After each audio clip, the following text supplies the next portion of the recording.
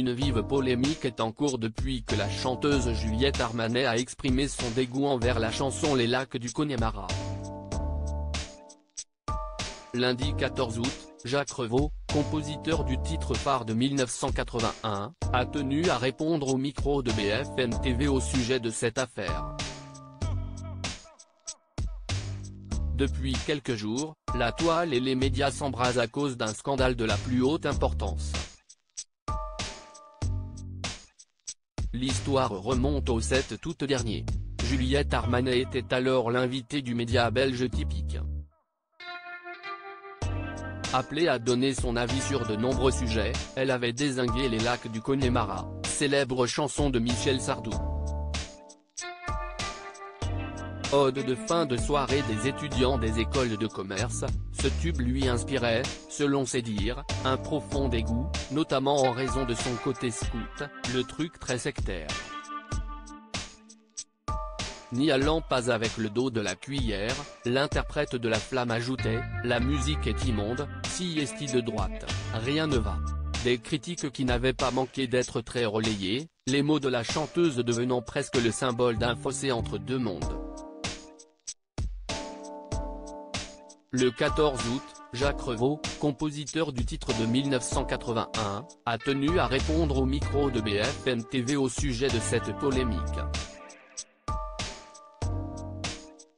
Elle est en train de se mettre à dos beaucoup de monde gêne et fait la musique, cette fameuse musique immonde, mais vous savez, il y a des dizaines de millions de personnes qui l'adorent, a-t-il défendu, avant de contre-attaquer.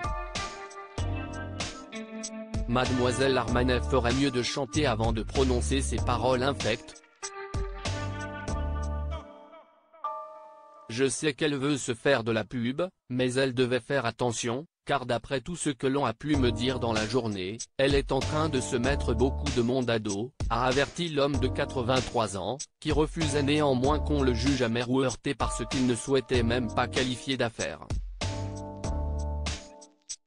Polémique bientôt oubliée S'exprimant en visio, l'ami de Michel Sardou a aussi rappelé qu'il n'avait rien à faire d'accorder des interviews à droite et à gauche, car, en tant que compositeur, ce n'était pas son métier.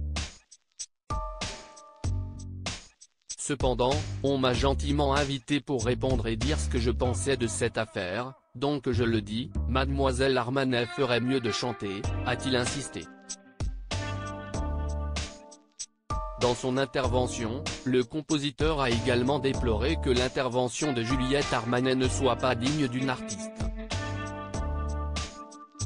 Des artistes, j'en ai managé des dizaines, et jamais je ne suis tombé sur une personne aussi immonde, cesse-t-il insurgé. Cependant, cette polémique n'est pour lui définitivement pas une.